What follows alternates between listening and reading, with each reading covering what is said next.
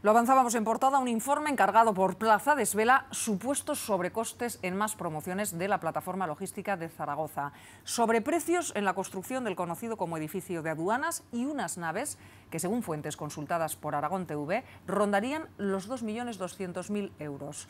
Una cifra similar al caso Codesport, que ya ha pasado por los tribunales. Ese informe fue solicitado a un arquitecto por el anterior Consejo de Plaza.